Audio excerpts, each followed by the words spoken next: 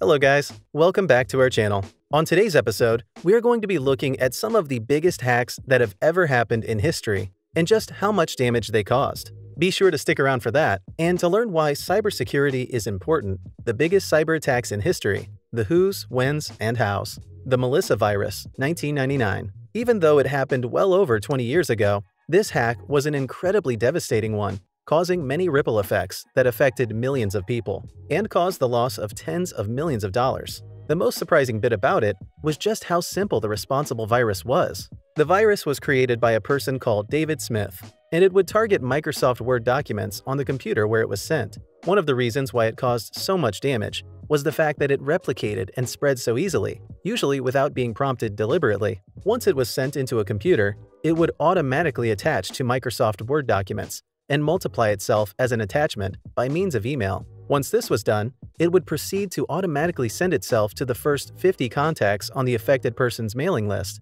causing damage and havoc as it spread. Even though the creator of this virus did not intend to cause a lot of damage, the bug caused loads of losses as far as valuable information was concerned. It is estimated that people lost about $80 million as a result. The culprit was arrested and imprisoned for 20 months and antivirus sales reached an all-time peak that year from both affected and weary buyers. Yahoo, 2013 to 2014. This is likely one of the hugest cyber attacks in history, judging by the sheer number of people and accounts that were affected by the hack. The most interesting bit is that this site received two major attacks that saw up to 3 billion users affected globally. To show you the sheer magnitude of this attack, Nearly half the population of the world was affected in the course of that one year. When the first attack occurred in 2013, it soon became apparent that approximately 500 million Yahoo users had been affected, and that their most important credentials, such as usernames, passwords, real names, date of birth,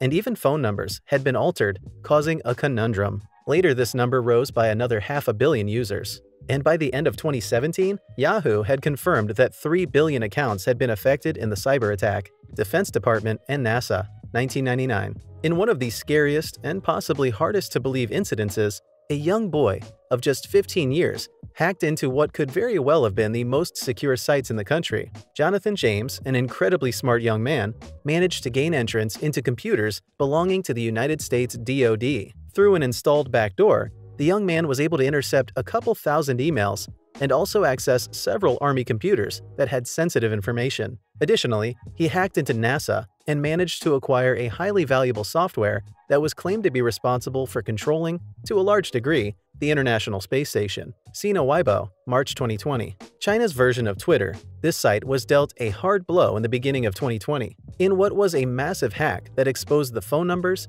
real names, genders, usernames, and locations of at least 172 million users, Sina Weibo witnessed what was possibly the largest loss of crucial information yet. However, the fact that passwords were not stolen is likely why the information sold for very little money, slightly over $250. It is estimated that all of its 500 million users could have been exposed. Mafia Boy Attacks 2000 in a series of multiple cyber attacks that saw many national and multinational institutions suffer, a young man of just 15, Michael Calce, also commonly known as Mafia Boy, unleashed a destructive DDoS attack on multiple websites that include CNN, Amazon, eBay, and Yahoo.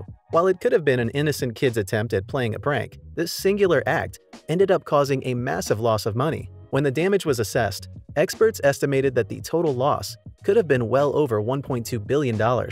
He was apprehended for his crimes, but seeing as he was a minor, he was sentenced to eight months in open custody, and the courts also limited, to a large extent, his overall interaction with the internet. That's all for today. Thanks a lot for watching. Please consider liking this video and subscribing to our channel to catch all of our latest videos. Do let us know what you'd like us to cover next. See you on the next one.